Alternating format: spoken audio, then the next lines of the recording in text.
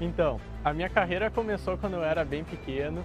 Eu tinha sete anos quando eu comecei no kart e as coisas começaram lá em Tarumã, num autódromo bem pequeno, mas uh, eu comecei a correr e depois de então isso se tornou um vício, isso se tornou minha profissão e graças a Deus eu tive muito talento em todas as categorias que eu corri.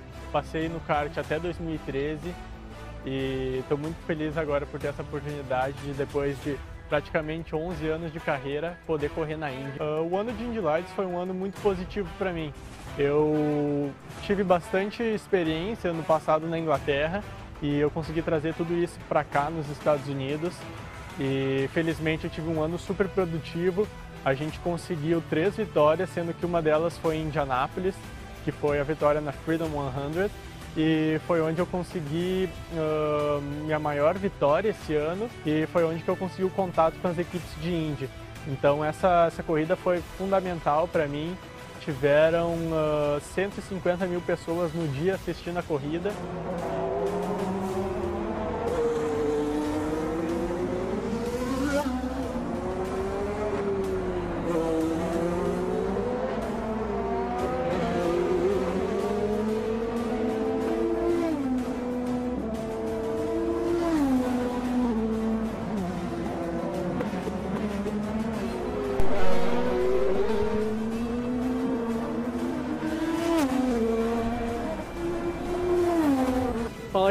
Consegui aqui então uh, minha primeira classificação na Indy, consegui um terceiro lugar, estou muito feliz.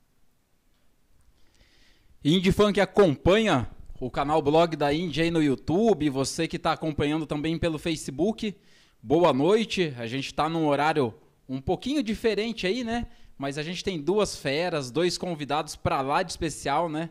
Agradecer primeiramente o André Dueck, o André Dueck que nos proporciona essas lives fantásticas e o convidado de hoje, Matheus Leixe, não precisa nem de comentário, né? Mas fale aí, André, apresente o nosso convidado especial aí. Live aqui é, é papo de amigo, né? Tem nada muito formal.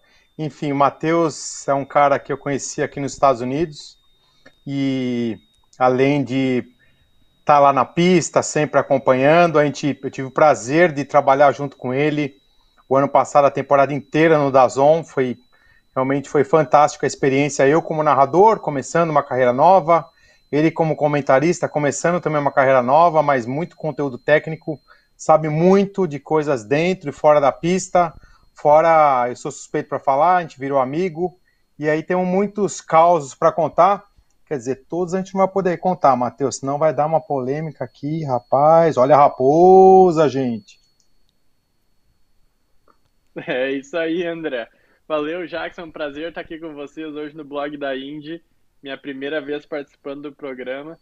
Eu acho que vale a pena falar também, o cabelo diminuiu bastante, né, da, daquela época que eu, que eu comecei na Indy, mas, enfim, quase estou deixando de ser o Birubiru já. Mas uh, muito feliz de estar aqui com vocês. Vamos contar umas histórias, falar um pouco sobre Fórmula Indy, falar um pouco sobre meu passado, meus anos na categoria e também de, de que, que a gente vai, que, que a gente está achando dessa temporada aí de 2021. Quer começar, André, contando algum caso? Que daí eu vou vendo ali como que tá no chat e mandando perguntas. É, eu acho que é legal, né? A gente tem o Matheus aqui explorar o conhecimento técnico dele também mas eu queria que ele contasse. Eu já falei isso numa transmissão, mas ninguém melhor do que o personagem para contar a história da sua estreia na Fórmula Indy, que foi bombástica. A gente viu a entrevista aí, você classificando em terceiro. E depois na corrida, tivemos alguns probleminhas da equipe, né, Matheus? A equipe que é essa camiseta aí que o Jackson tá usando, nem sei por que ele tá usando essa camiseta, né? Acho que usou no dia errado, mas tudo bem, né? Fã é fã, né? Vamos fazer o quê? Mas conta pra gente o que, que aconteceu naquela corrida, Matheus. Aquelas duas coisas que. Vou deixar você contar, porque se eu contar, todo mundo vai falar que é mentira. Então, ninguém melhor que o próprio piloto para contar o que aconteceu e por que, que você não teve uma boa performance na corrida. Principalmente, até imita o som daquele caos que você me contou. Pois é, essa, é, essa história é meio longa até. Eu vou, eu vou recordando os pedaços, se eu não falar tudo, o André me ajuda ali do, do meio para o final, mas enfim. Essa foi, foi então a minha primeira corrida de Fórmula Indy. Foi em uh, março de 2018, nas ruas de St. Petersburg, aqui na Flórida, bem pertinho aqui de casa até. E, enfim, era minha primeira corrida de Indy, minha primeira corrida com a AJ Forte, e eu ainda estava conhecendo toda, sabe, o esquema da equipe, o esquema da categoria, como que eram as coisas. E logo no primeiro treino, primeiro dia do, meu primeiro treino oficial de Fórmula Indy, no, no, final de semana de corrida, eu liderei o treino, fui primeiro e tive uma ótima classificação, larguei na, na terceira colocação. E daí a gente foi para a corrida. A corrida foi foi praticamente tudo que tinha para dar errado deu errado na corrida. E enfim, eu lembro que logo Uh, teve vários aspectos que eu vou contar sobre a corrida, mas enfim, logo antes do, do começo da corrida, o Tony falou para mim: Cara, a única coisa que não pode acontecer nessa corrida é tu bater, só não bate, vai e termina a corrida. Então, uh, enfim, ele tinha me dito também que na primeira corrida dele de Índia ele tinha batido também. E, enfim, largou, larguei de terceiro, fiquei ali entre os cinco primeiros praticamente todo, todo esse primeiro stint. E para quem lembra, deu um problema no meu carro. O problema foi que praticamente uma teve uma peça que refrigera a, a, a caixa de câmbio, é, a eletrônica da caixa de câmbio. E essa peça foi montada errada e o que aconteceu foi que uh, a caixa de câmbio superaqueceu e parou de trocar marcha. Então eu fiquei trancado em, em em terceira, na terceira, na, na terceira marcha. Deu, enfim, todo mundo me passou, eu vim pro box, parei no box. Quando eu parei no box, uh, os mecânicos tiraram o capô, a parte de trás do carro, né? E começaram a mexer, começaram a olhar e, obviamente, tem que usar ferramentas para tirar todas essas peças. E, enfim, o carro é, é, grande, então os caras tiraram toda a parte traseira do, car do carro, olharam, viram o que, que era, não enxergaram nada direito, botaram a peça de volta e o meu mecânico, o mecânico chefe, que a gente chama, que é o crew chief, ele fez o sinal que eu podia ir. E eu peguei e fui, né? Então, saí do, do, do pit lane, fui em direção à pista, saí, fiz uma curva, fiz a segunda curva, quando eu freiei, para curva 3. Cara, eu freiei. A única coisa que eu vi era um barulhão de coisa quebrando. Parecia uma, um barulho de vidro, sabe? Quando quebra vidro dentro do carro. Eu falei, que que é isso, cara? Eu freiei para curva 4 ali em, em Pete, que é uma curva bem de primeira marcha. Eu só vi uma chave de fenda, chave de Phillips, uh, martelo, porca, um monte de coisa voando. Eu falei, que que é isso, cara? Que loucura! e daí eu comecei a pensar, meu Deus, o que, que, é que eu faço agora, né? Porque no meio da pista, imagina, no meio da pista com chave, imagina o perigo. Na hora nem pensei nisso, né? Mas ah, pensando hoje, imagina uma chave dessa e pega num pneu e voa em alguém. Mas enfim, eu só vi um monte de peça voando e, e chave e coisa. E eu peguei e fui até a área de escape, só para ver, me situar, né? Porque eu tomei um susto com isso fiz um cavalo de pau e voltei para os boxes. Né? Eu falei, cara, alguém deixou alguma coisa dentro do carro. Chegou a entrar a chave dentro do meu cockpit, para vocês terem noção.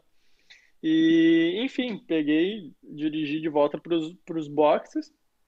E, e na pista de corrida, obviamente, que eu estava no meio da corrida, né? Então, fiquei sempre do lado de fora da pista, para lá de fora, quer dizer, na sujeira, para deixar todo mundo passar, né? Então, vim devagarinho, entrei nos boxes, daí que o mecânico tinha deixado uma caixa de, uma caixa de ferramenta, literalmente uma caixa de ferramenta desse tamanho assim, mais ou menos, cheio, cheio, cheio de ferramenta em cima do, do assoalho do meu carro, na parte traseira, imagina.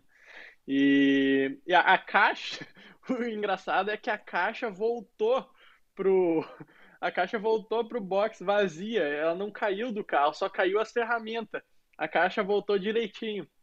E daí, enfim, eu parei lá no box, eles tiraram a caixa, meu mecânico me liberou. Eu saí ali na curva 2 em, em San Pete, os pneus estavam sujos, eu já tava bravo também, já tava umas 15 voltas atrás. E eu dei uma saída de frente e bati no muro. Essa foi a minha primeira corrida de Fórmula Indy. Eu conto isso aí nas transmissões, fácil. Jackson. Os caras acham que eu invento história, tá vendo, gente? Ó, tá vendo? Não sou eu, ó. É, é, os caras contam as histórias para mim, aí eu não aguento. No meio da transmissão, deu uma bandeira amarela.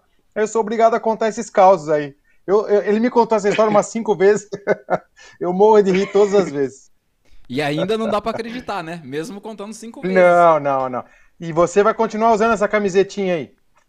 Eu vou trocar então, depois eu troco. tá bom. Perguntar pro Matheus então. O Matheus, eu acho que o primeiro teste dele na Indy foi em Road America, né? Com o Andretti, se eu não me engano. Correto. E tinha muita diferença, embora o chassi seja o mesmo, só tivemos alterações aerodinâmicas, né? De 2017 para 2018. Mas qual carro que era mais legal de guiar? Aquele chassi. Eu, particularmente, visualmente, eu achava muito feio, né? Os fãs da Indy até falam que a Indy perdeu um pouco a identidade com aquela saia, aquele para-choque. Mas ele era em mistos, pelo menos, eu comparei os tempos de Road America 2015, 16, 17, depois 18 e 19, sem o aeroscreen, claro, né, em 2020. Mas a, o carro até 2017 era mais rápido que esse de 2018, que você estreou lá em São Pete, né? Então conta um pouquinho também para o pessoal como que foi esse teste na Andretti e a diferença dos carros. Sim, esse, esse teste foi um teste bem legal, na verdade. Uh, as equipes, elas são, como que eu posso dizer? As equipes, elas meio que são, elas, a categoria pede para que as equipes façam um teste com, com pilotos novatos, entendeu? Então, uh, eu lembro direitinho, eu tinha recém ganho, se eu não me engano, é, eu tinha recém ganho a corrida lá em Indianapolis de Indy Lights, uh, a Freedom 100, e eu voltei para o Brasil logo depois da corrida, logo depois de, de eu voltei para o Brasil e tinha um, tinha um espaço entre uma corrida e outra. Eu lembro que eu estava em casa, acho que era uma quarta-feira até, eu recebi um e-mail lá da Andretti perguntando se eu podia participar desse teste lá em Road America. E foi só meio dia de teste, não foi um dia completo. E o teste foi, foi bem legal. Eu fui piloto mais rápido dos novatos, né, dos pilotos de Indy Lights. E, e eu andei no carro do, do Rossi. Então uh, foi um teste bem legal. Em relação ao carro, cara, é exatamente aquilo que tu falou. Era um carro que tinha tanto, tanta força aerodinâmica que eu, eu já tinha andado naquela pista de Indy Lights e eu, e eu saí com o carro de Indy do box e eu dei o pé na reta e falei, será que é tudo isso? Será que é, que é só isso a diferença para o Indy Lights?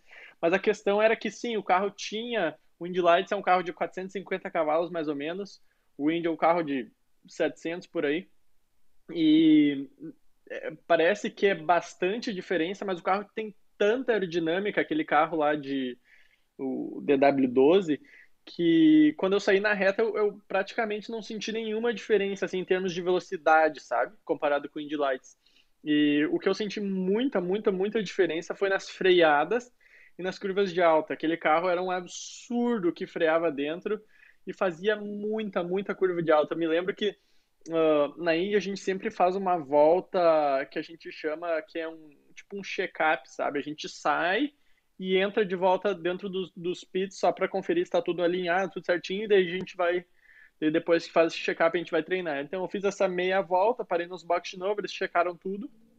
E eu saí para a pista e fui andar. Eu me lembro que na primeira volta mesmo que eu fui, fui fazer uma curva de alta, eu lembro, cara, o volante era pesado demais, assim, de tanto força aerodinâmica, de tanto grip, que, aderência que o carro tinha. Então, foi, foi realmente bem impressionante para mim. E, e, eu, eu curti bastante. Eu acho que era um carro bem legal. Uh, porém, é aquela coisa. Eu, na minha percepção, eu prefiro ter um carro mais lento, porém que, que faça uma corrida melhor. Eu acho que o carro, o, o IR18, que é o modelo que a gente tem agora, é um carro que, que ele proporciona uh, mais disputas enfreadas, é um carro que tu consegue, querendo ou não, seguir mais perto, coisas que com o DW12, como tinha tanta força aerodinâmica, não tinha como fazer, entendeu? Então, uh, na minha percepção, acho que era um carro legal para uma volta rápida, era um carro legal para um qualifying, vamos se dizer, mas eu penso que o carro atual hoje é um carro que propor proporciona uma corrida muito mais emocionante para o espectador e até mesmo para o piloto. Vai, André. Bom, Matheus, queria que você contasse também um pouquinho, lógico, né? As perguntas básicas, né? A gente não tem piloto aqui todo dia na live, né, Jackson? A gente precisa aproveitar. Como é que foi? Duas, dois momentos em Indianápolis. Primeiro, um momento histórico, né? Você foi o único piloto a liderar todas as voltas da Freedom 100, das 100 milhas de Indianápolis da Indy Lights. Pole position, melhor volta, liderou todas as voltas, se não me engano, foram 25. É isso, você me conheceu se eu estiver errado. E, 40. logicamente, no outro, 40, é 40, tá certo. 40 voltas e depois no outro ano estreando aí sim na Indy 500 e você já ali com o Tony e andando super bem. Acho que você largou em 12 segundo, se não me engano. É, eu lembro que eu foi ali na frente. É, 12 segundo ou 13 terceiro no primeiro ano. É, eu lembro que acho que era a quarta fila, se eu não me engano. Então eu queria que você contasse essas duas experiências em Indianápolis, lógico, né? Vencer na Indy Lights, de ponta a ponta, e depois no outro ano ser promovido e andar super bem, como o Rook, inclusive. Cadê aquele quadrinho, Matheus? Tá aí? Lá de Indianápolis? o Rook da, do, do, Fast, do Fast Qualified? Tem que buscar esse. É, o quadrinho tá mais Mas, perto aqui da minha casa do que da dele. Vamos explicar agora, né? Porque senão vai ficar chato. Mas eu, enfim, eu, eu me mudei e eu deixei dois quadros que o André acabou ficando com esses quadros, eu tenho que ir lá buscar. E um deles é um quadro bem legal lá de Indianápolis. Depois eu mando uma foto pro, pro Jackson, ele pode compartilhar com vocês. Mas enfim, cara, foram duas. Uh, eu acho que tem muita coisa para falar de Indianápolis. É até bom a gente dar uma, talvez uma, uma picotada. Vou fazer Indy Lights primeiro e depois a gente entra no assunto de, de Indy, porque tem muita coisa para falar de Indianápolis. Como piloto, é realmente uma uma experiência indescritível. Mas enfim, no primeiro ano, cara, foi. Eu tava bem. No primeiro ano, quero dizer, no ano de Indy Lights, eu tava bem perdido ainda. Cheguei lá, eu nem sabia o quão importante era. Obviamente, sabia que a corrida era o maior espetáculo do mundo em termos de automobilismo, na minha opinião, mas uh, eu não sabia quão grande era na cidade, vamos dizer, que realmente é, aquilo é uma, é uma loucura. Quem, quem teve a oportunidade de ir, ou se um dia tiver uma oportunidade de ir ainda assistir, vale muito a pena. E, enfim, nesse meu primeiro ano, cara, foi minha primeira corrida de Indy Lights no oval. Eu consegui classificar na pole, eu fiz o recorde da pista de Indy Lights. E eu lembro que antes da corrida, meu engenheiro, um engenheiro super bom, ele virou meu amigo até, ele, eu corri pela Carlin, que é, tem, tem um carro na Fórmula Indy hoje. E esse engenheiro, ele falou para mim assim, cara, a gente sempre corre com mais downforce do que no qualifying aqui em, em Indianápolis, pra gente conseguir ultrapassar todo mundo. Só que eu vou fazer o seguinte, ele me disse assim, vamos, vamos correr com um pouco downforce, quase o mesmo nível de, de da classificação. Só que ele falou assim para mim: a única forma que a gente vai conseguir ganhar essa corrida é se tu liderar todas as voltas. Se alguém te passar, a gente tá ferrado, porque o carro tinha muito menos downforce e eu não ia conseguir ultrapassar. Eu falei para ele, cara, é um risco, mas, mas vamos ir para cima. Eu lembro que essa diferença era bem grande. Eu tinha quase 3 graus a menos de asa na traseira do carro do que meus companheiros de equipe. Eu falei para ele, cara, a gente tá largando na pole, vamos arriscar, a maior corrida do ano em Indianápolis, né? E, enfim, não, não deu outra. Eu larguei. Eu lembro que teve uma bandeira amarela logo na primeira volta e quando relargou, eu, eu liderei as 40 voltas, obviamente, e eu fiz todas as voltas. Do momento da relargada, que eu botei o pé no fundo, eu só tirei o pé do acelerador completamente na linha de chegada quando eu recebi a, a bandeirada. Eu lembro que foi muito engraçado que com 10 voltas pro, pro final, eu tava tanto tempo com meu pé parado no fundo do acelerador, minha perna dormiu, meu pé dormiu, não conseguia sentir mais nada, cara. E eu comecei a tocar, eu, eu, eu pegava meu pé do freio, eu encostava no meu, no meu pé, assim, sabe? Batia em cima pra, tipo, eu sentir, sabe? Então foi uma sensação muito louca, isso nunca tinha me acontecido num carro de corrida. E, enfim, foi uma corrida muito legal. E como eu já tinha mencionado antes, tinha em torno de 150 mil pessoas assistindo a corrida. Eu, eu, quando eu ganhei a corrida, cara, fiquei louco, nem sabia tanta todo o ritual que tinha, até mesmo na Freedom 100, entendeu? Então, uh, acabou sendo uma vitória muito, muito especial para mim. com certeza, mas da, aí tá a foto da, da, da, classificação que eu fiz a pole. E, enfim, foi uma corrida muito especial. Eu, eu gostei demais e foi praticamente o que me deu uh, uma porta de entrada para a Fórmula Indy depois do ano de 2018 e 2019. E já emendando então no assunto, cara, Indy é, é completamente outro universo lá em Indianápolis. O carro é muito mais rápido, para vocês terem noção, o carro de Indy Lights, ele, ele faz uma média de volta de em torno de 200 milhas por hora. É, é a média de volta, que isso dá uns 320 km por hora. A Índia, a média de volta é 230 médias, uh, quilômetros, milhas por hora, ou seja, é quase 370 quilômetros de média Parece pouca diferença, mas é muita diferença. O carro de Indy Indianápolis é realmente muito, muito, muito rápido. Então, uh, foi é, tanto quanto um pulo, porém, é, essa sensação de correr em Indianápolis é algo indescritível.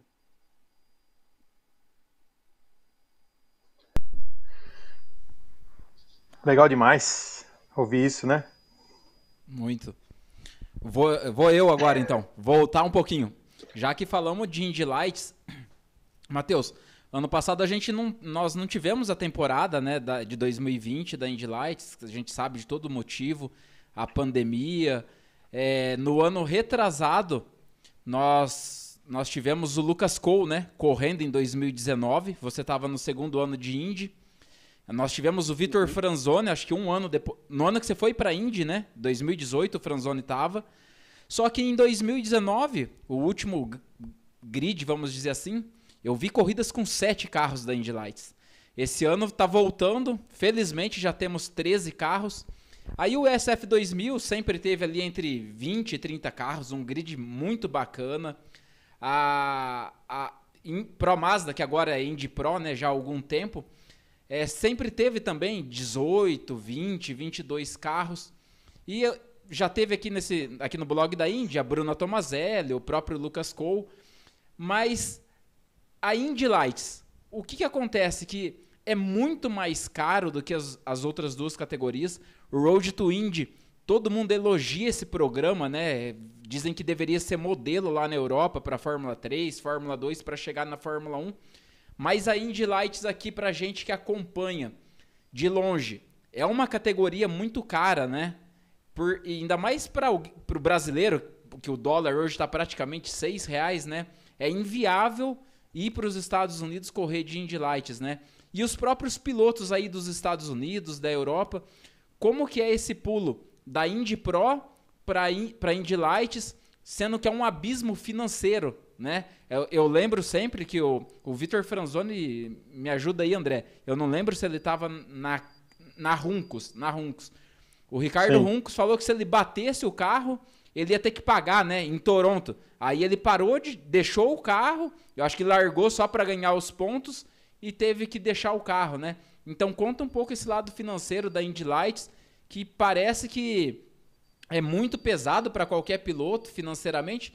E o Enzo Fittipaldi, que estava na Fórmula 4, eu achava até que ele ia direto para a Indy Lights por todos os patrocínios que ele tem, o apoio que ele tem, ele acabou indo para a Indy Pro. Faça um contexto de tudo isso e fale do, desse lado financeiro da Indy Lights.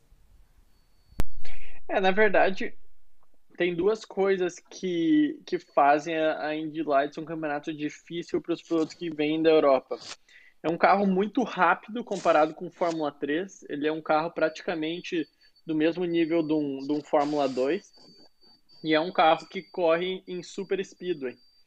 Então, uh, isso são dois passos contra, já fora, obviamente, o lado financeiro. Então, acho que por isso, por esse fato, uh, muitos pilotos que vêm da Europa vêm para correr de Promasa primeiro, para depois fazer Indy Lights, porque nunca andaram em oval, sabem que uh, o Indy Lights corre em Super Speedway, então uh, tem toda essa questão de aprender o oval e por aí vai. Mas o que acontece é que a Indy Lights realmente é muito cara. Não era tão cara assim há 4, 5 anos atrás. Não, não era a questão. O que aconteceu foi que começou a ter menos pilotos, começou a chegar uns pilotos com muito dinheiro. Uh, a Andretti começou a fazer ah, começou a ser a melhor equipe disparada e cobrou muito mais dinheiro do que todas as equipes, e enfim, isso tudo fez com que o preço da categoria subisse e com que praticamente fez com que não teve o, não tivesse campeonato ano passado. Então, uh, eu acho que é uma categoria muito legal, uma categoria que te prepara ok para Indy. Uh, devia, pelo preço que é hoje, pelo, pelo orçamento uh, que as equipes estão cobrando hoje, no ano de 2020, 2021, ela deveria ser um campeonato que tivesse pelo menos um pit stop para os pilotos prepararem, devia ser um campeonato que tivesse mais corridas uh, e por aí vai. Mas, uh, enfim, é, é, um campeonato legal. Tem, eu acho, que certas coisas que devem melhorar para chegar a um, um, nível que o piloto está super bem preparado para correr de Fórmula Indy. Mas uh, tem essa questão financeira que realmente é uma pena. É uma categoria muito cara, ainda muito barato comparado com uma Fórmula 2 na Europa. Uh, porém, mesmo assim, eu acho que por isso que muitos pilotos que vêm da Europa ou pilotos brasileiros, enfim, tentam vir e correr de pelo menos USF 2000 ou na ProMazda Indy Pro antes de, se em algum momento conseguir correr Indy Lights. Mas realmente é uma pena, é uma categoria que tinha tudo para ser uma categoria com 15, 20, 25 carros, ia ser animal se conseguisse ter um grid assim, mas para isso acontecer, eu, na minha percepção, acredito só vai acontecer se os preços pelo menos cair pela metade, o que eu não vejo acontecendo em nenhum futuro próximo. E o, o piloto que passa pelas três categorias, que faz a escadinha, ele chega totalmente pronto para a Indy mesmo? Cara, é, é difícil falar. Eu acho que um piloto bom sempre vai estar pronto, independente de onde vier, entendeu? Um piloto bom vai estar pronto se vier da Europa, um piloto bom vai estar pronto se nunca tiver corrida de oval. Eu acho que isso é meio. É, obviamente, se tu acompanhar bem as três categorias, normalmente quem ganha os campeonatos e quem ganha as corridas e quem anda entre os três é sempre os mesmos os três que ganhavam corrida, vamos dizer, na USF no outro ano é os mesmos três que andam na Promaz e daí um ano depois os mesmos três que andam na Indy Lights, entendeu? Então é, é meio que, sim, é bem competitivo. Uh, no ano que eu corri tinha bastante gente boa andando. Estou uh, citando mais as categorias mais a, abaixo ali, como a, a USF e a, e a Indy Pro, mas enfim é, é, se, tu, se tu entrar e começar a assistir bem, assim, acompanhar a carreira dos pilotos, tu consegue ver que meio que acontece uma escadinha e várias vezes tu vê o piloto que ganha de USF, ganha de Pro Mazda e ganha de Indy Lights também. Que é um piloto muito bom que se destaca, entendeu? Então isso acaba acontecendo bastante uh, aqui no Road to Indy. Mas sem, sem questão, sem uh, questionamento algum, é o melhor programa que existe no mundo uh, em termos de preparar pilotos, eu acho, para uma categoria específica. É, o Matheus falou, citou aí, revezando os campeões e vice, por exemplo, o Oliver Esco e o Rinus VK, eles foram campeão e vice da desde a USF 2000, Indy Pro, Indy Light, só foram trocando ali, né? Só que na IndyCar, Correto. na IndyCar o, o, o não sei se, o, se a Carpenter era tão melhor, não era melhor que a McLaren, né? Ele teve um desempenho bem melhor que o Oliver Eskel. Pois é. A gente pode, eu posso tocar um pouco mais nesse assunto depois, mas eu acho que aconteceu, para mim, o Oliver Askew é um dos melhores pilotos americanos dessa nova geração. Uma pena que ele não, não vai estar na categoria mais esse ano, enfim. Mas é um piloto super uh, bem completo, um cara que anda muito bem, ele é calmo e tudo mais. E, enfim, são, às vezes é, é como as coisas acontecem. A gente pode ver aí o Rinos que para mim o Oliver é muito melhor que ele, mas acabou por circunstâncias que a gente pode conversar depois sobre a equipe e tudo mais, se dando melhor nesse primeiro momento. Vai lá, André. Eu queria emendar até, Matheus, até porque eu estava lendo aqui o chat e você tocou em dois assuntos super pertinentes e que, e que as pessoas perguntam, né? É, e você já me contou isso, mas acho que é legal as pessoas saberem, né? É, a questão de estar na hora certa, no lugar certo. Você vê o Oliver S, eu concordo com você, acompanho a carreira dele desde o kart, todas as categorias de base, campeão, um cara muito maduro para a idade dele, recebeu uma, não é nenhuma proposta, na verdade, teve uma oportunidade de já começar numa equipe média para grande, que foi a McLaren no passado, mas teve o companheiro de equipe, o Pato Ward, que foi um, um, na, minha, na minha opinião, foi a grande surpresa do campeonato, o cara ficar ali entre os três primeiros do campeonato inteiro. Mas e o Rinus VK da mesma forma. E aí eu te faço a pergunta: o Matheus Leist, de 2017 e 2016, piloto campeão inglês de Fórmula 3, chegou super bem nos Estados Unidos, venceu três corridas na Indy Lights, fez história ali nas 100 milhas de Indianápolis, é, testou na Andretti, foi o, o, o, o, piloto mais rápido lá, o Hulk teste, foi o piloto novato mais rápido. Na primeira etapa, estreando numa equipe pequena, liderou o primeiro treino, largou em terceiro. Se ele tivesse tido oportunidade numa dessas duas equipes, na Carpenter ou na McLaren, você acredita que o futuro teria sido diferente? Olha, André, eu acho que se fosse uh, numa equipe um pouco melhor que a AJ Foyt, eu acho que já teria sido muito diferente, entendeu? Uh, o problema foi, o maior problema foi que a AJ Foyt era a pior equipe do campeonato disparado, entendeu? Então uh, não tinha o que a gente fizesse praticamente, a gente sempre estava entre os últimos. E isso não, não me ajudou em momento algum, entendeu? Porque, como a gente pode ver, Carpenter é uma equipe média, anda super bem nos ovais, anda bem em pista de rua, e, enfim, mas é uma equipe média para boa.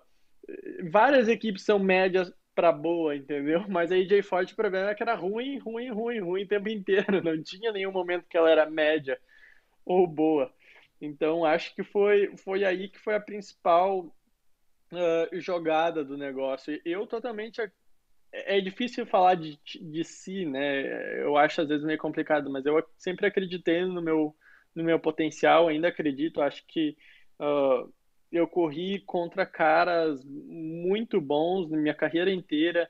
Uh, ganhei o campeonato do Colton Herta, ganhei o campeonato do Lando Norris, uh, bati de frente com esses caras na Europa o tempo inteiro. Eu, eu não, não, não vejo porquê se eu tivesse numa não tem porquê eu acho se eu tivesse numa equipe boa de eu andar mal. Obviamente são várias circunstâncias, mas uh, Vamos ver, quem sabe uma vez no futuro, mas eu acho que, que se eu tivesse talvez ido para.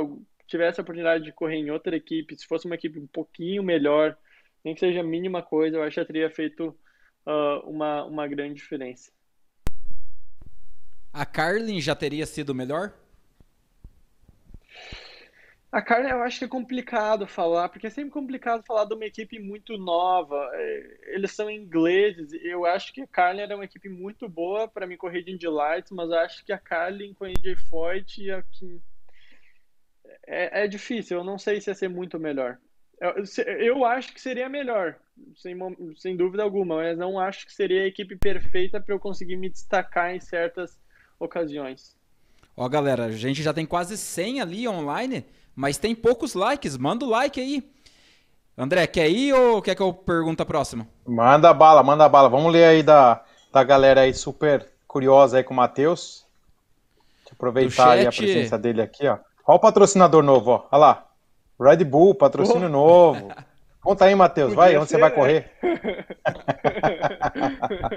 Podia ser. Ah, então, um recado, eu... fica a dica. Fica a dica.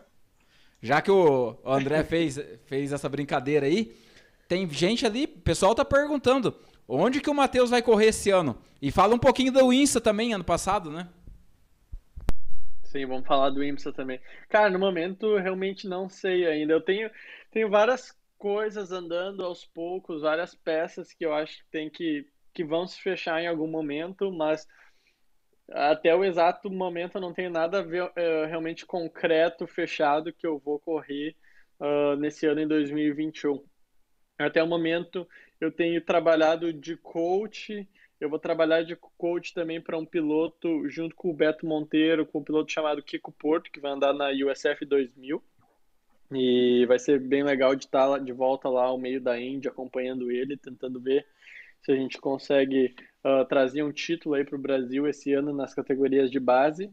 E, enfim, estou ainda tentando uh, ver no que eu vou correr. Eu tinha praticamente um contrato fechado para correr de LMP3 na IMSA com a equipe que eu corri de DPI ano passado, porém, por uma questão de, de coisas, o, o negócio meio que está andando de lado agora, vamos ver como vai ir.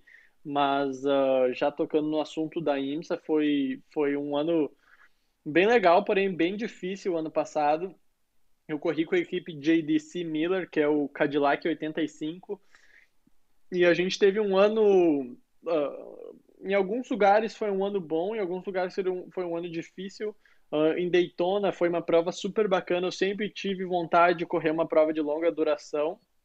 E ano passado eu consegui fazer essa prova. Essa prova foi muito bacana, uma prova tipo sensacional. E muita gente pensa que a prova de longa duração é uma prova mais tranquila, e muito pelo contrário, uma prova que está aqui no limite o tempo inteiro e está sempre uh, buscando volta mais rápida, acima de volta mais rápida, e de noite a corrida vira uma loucura. Então, enfim, uh, 24 horas de Daytona ano passado foi uma prova sensacional para mim. Uh, as 12 horas de Sebring também foi uma corrida muito legal.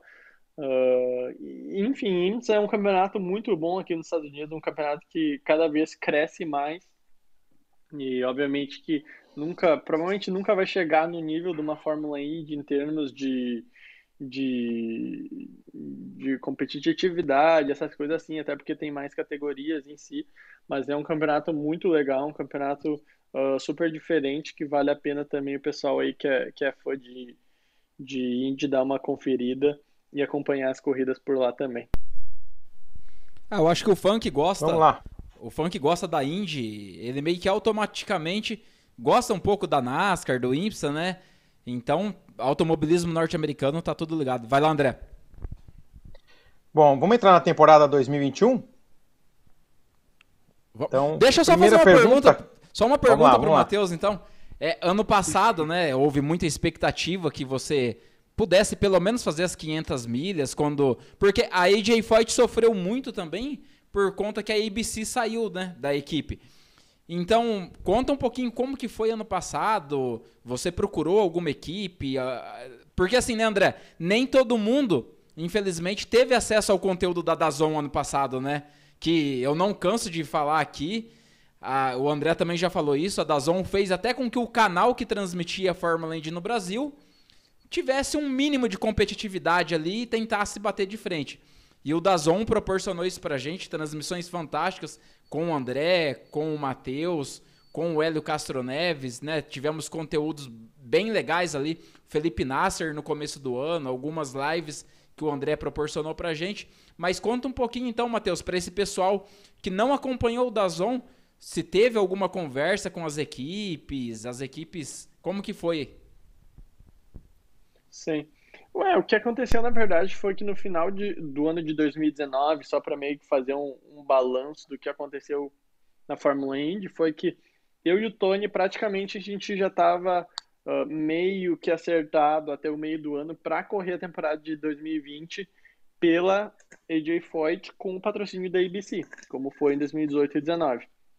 Quando a ABC anunciou que depois de 14 anos eles iam parar de patrocinar a AJ Ford foi que eu e o Tony praticamente andamos por ficamos por água abaixo, porque o que aconteceu foi que a equipe precisava de dinheiro e, enfim, praticamente quem pagasse mais que correria uh, naquele ano, no ano de 2020, com a equipe. Então, como eu não tinha grana, eu estava dependendo da ABC. E assim como o Tony, eu e ele ficamos de fora. Ele ainda conseguiu arrumar uma grana da 7-Eleven para uh, ah, para fazer os ovais com AJ Ford e eu fiquei de fora. Em relação a Indianápolis no ano de 2020, cara, é, é aquela coisa.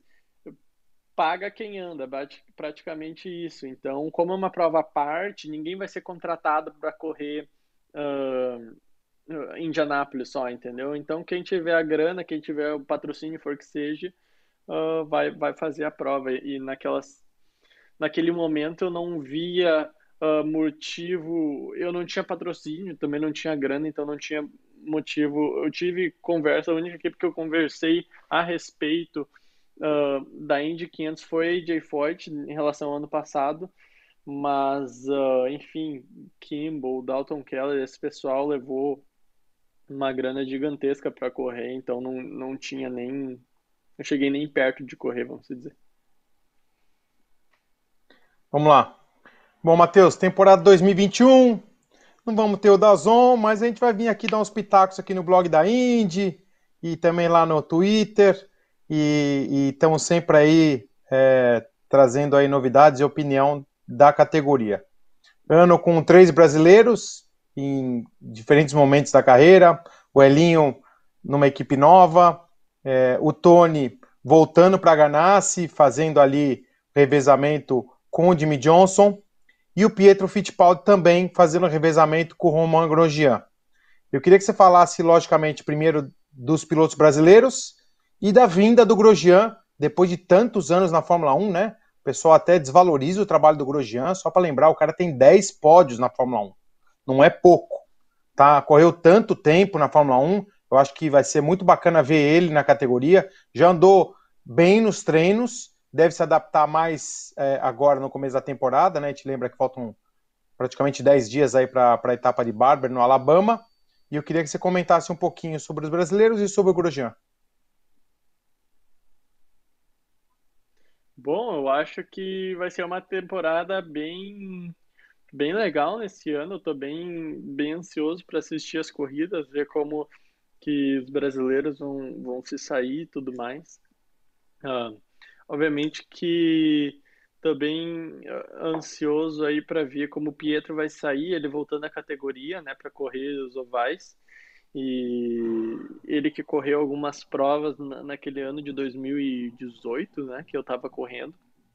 E o Pietro é um cara fantástico, uh, conheço ele já faz, faz alguns anos agora, e é um piloto super bom, eu acho que ele vai se dar bem na categoria.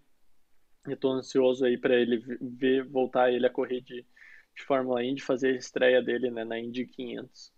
Uh, vai ser legal também ver o Tony de volta a Ganassi. Eu acho que o Tony, com toda a carreira dele, o currículo dele, um piloto super, super, super talentoso nos ovais.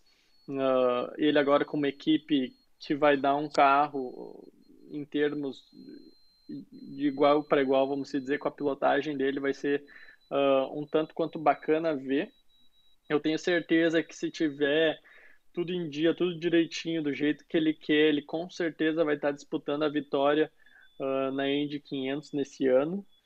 E o Elinho também, o Elinho é, é, um cara que correu, o André sabe os números melhor que eu, não tenho de cabeça, mas praticamente 20 anos pela Penske e agora vai correr uh, pelo Meyer Shank e vai ser legal. Vai ser legal, porém ao mesmo tempo vai ser estranho, né, ver o Elinho correndo numa equipe que não seja a Penske mas uh, o Meyer Shank que tem aquela afiliação com a Andretti, e a Andretti que andou muito bem ano passado na, na Indy 500, vai ser, vai ser legal ver ele também fazendo essa estreia e ver como, como eles vão se sair. Eu tô, tô bem ansioso aí para a temporada de, de 2021, acho que vai ser uma temporada legal. Uh, ver o Grosjean também estrear na categoria, né? Como o André falou, é um cara que muita gente às vezes fala, ah, o Grosjean batia o tempo inteiro na Fórmula 1, o Grosjean isso e aquilo, mas uh, não dá para tirar o mérito de que 10 pódios na Fórmula 1 não é para qualquer um. E o próprio Massa, eu acho, se eu não me engano, tem 13 ou 14. Então, uh, enfim, uh, vai ser vai ser legal demais ver, ver o Grosjean aí correndo na Fórmula 1 e, e ver como na, na Indy, ver como ele vai se sair tenho certeza que vai no começo ali vai ser um pouco diferente, porque os carros de Fórmula Indy é bem difícil. No treino é uma coisa, mas as corridas o carro muda demais, a, a temperatura é uma coisa que influencia demais uh, as circunstâncias do, do carro.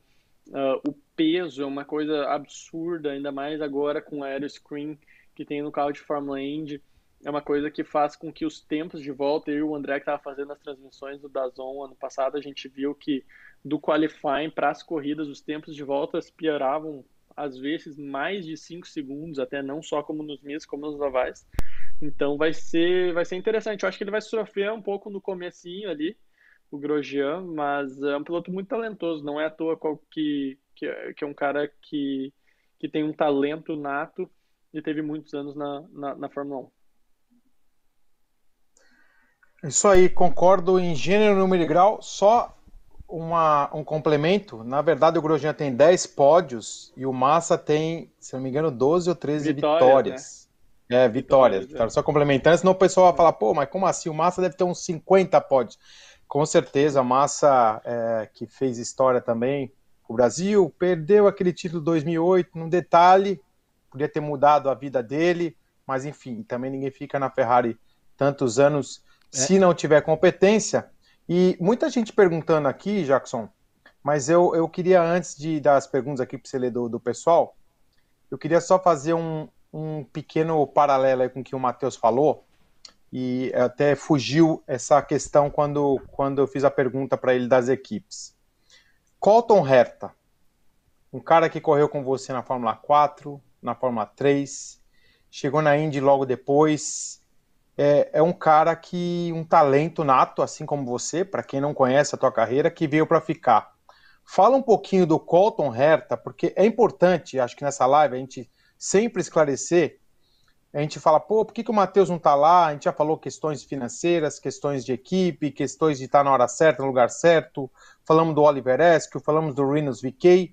Mas o Colton Herta, logicamente que ele tem é, o apoio aí do pai, que estava lá na equipe Andretti, entrou numa equipe pequena, porém tinha o suporte da Andretti e depois foi contratado pela Andretti. Mas eu queria que você falasse um pouquinho desse caminho que você correu junto com o Colton, para que o público da Indy que não acompanhou a carreira de vocês na Europa entenda é, o que exatamente é isso de você chegar no funil, né? Que a Fórmula Indy é o, é o fundo do funil, né? O final do funil.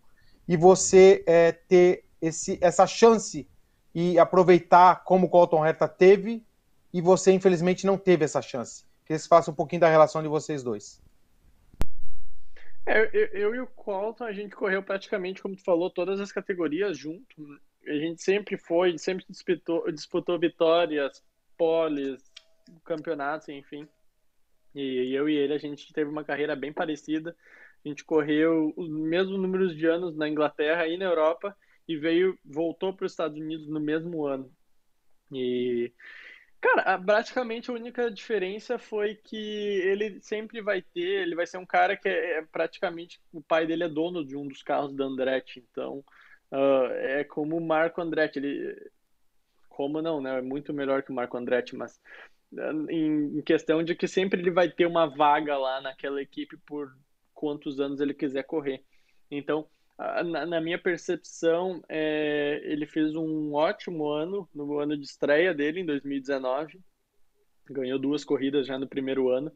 E ano passado também ele começou bem mais ou menos. Andretti começou bem mais ou menos no ano passado. E no final do ano eles vieram pegando, melhorando, melhorando, melhorando. E no final do ano o Colton já deu um puta calor no, no Rossi. Então eu tenho, sem dúvidas alguma, certeza que ele vai estar disputando o campeonato de novo esse ano.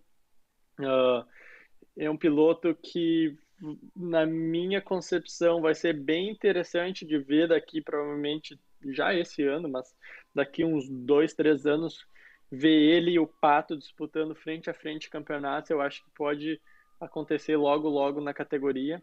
E são dois pilotos muito completos. Eu acho que no momento atual Pato seja um piloto um pouco mais completo uh, em termos de corrida do que o Colton, mas na, aquela volta rápida, aquele milésimozinho, talvez para uma pole, alguma assim, eu ainda acho que o Colton é um pouco melhor. Em questão de corrida, devo assumir que eu acho que o Pato, nessa circunstância, é um pouco melhor do que o Colton. Então vai ser, os dois têm a mesma idade, sempre correram juntos também, vai ser, vai ser interessante ver e essa disputa aí daqui a uns anos, até mesmo esse ano agora. Legal demais. O Matheus as... falou do tem umas coisas na Indy, né, Matheus, André, o Graham Hall, o Marco Andretti e o Colton Herta, eles têm uma coisa em comum, né, que os pais são donos, donos dos carros, né? Então hoje teve a apresentação aí do Marco Andretti com esse patrocínio. Ele vai correr. Ele é filho do, do, Mar, do Michael, mas vai, vai correr na equipe Andretti, do pai, mas no carro que o Brian Herta curta, cuida. E o, e o Colton Herta, que é filho do Brian, vai correr no 26, aquele patrocínio que era do. Zach Witt. Zach Witt, exatamente. Então, só para contextualizar aí. Aí fica mais fácil a vida, né, Matheus? Se o pai, se o seu pai tivesse um carro na Indy, você tava lá nos próximos 10 anos, né? Igual o Marco Andretti, né? Só que melhor, espera. se, se, eu, se, eu, fosse mal, igual o Marco Andretti, eu teria aposentado antes já, não esse ano só. Ele não precisava ter andado 15 anos para notar que era ruim, né? ai, ai, ai. Jackson tá cheio de pergunta aí no, no chat. É, eu vou pegar uma aqui, Jackson, mas as outras você pode fazer. Beleza. Do Rogério Aparecido, como seria o Dixon na Red Bull? Seria, olha a raposa, gente. Olha o touro. Eu acho que o Dixon acelera muito. Minha opinião, tá? Por estar tá acompanhando. A, eu acompanho a Indy faz quase 30 anos. É, por aí. Foi o melhor piloto que eu vi. Completo. Não era o mais rápido. Não tem mais polis. É um cara cerebral. É um cara muito competente. Não à toa vai buscar seu sétimo título. Você vê que mesmo em Indianápolis ele ganhou só uma vez, mas tá, ele, ele é um piloto completo porque ele é rápido o suficiente para estar tá ali na frente. Ele economiza é, pneus e combustível como poucos. É um cara muito inteligente dentro e fora da pista. Teve ótimos professores, principalmente o Franchitti, na época auge da Ganassi. Mas para mim é o melhor piloto dessa nova era da Fórmula Indy. Dos últimos 30 anos, para mim, o Dixon é o melhor piloto. Seria muito bom se ele tivesse tido uma, uma é, oportunidade na Fórmula 1. Agora não, né? Tá com 40 anos, enfim. Já foi o tempo dele. Mas eu acho que da mesma forma que Montoya foi campeão na Indy e andou bem na Fórmula 1, Jacques Villeneuve, campeão na Indy, foi campeão de Fórmula 1, o Dixon estaria no mesmo nível, ou até melhor, eu arrisco o palpite que a Raposa ia dar trabalho na Fórmula 1, gente.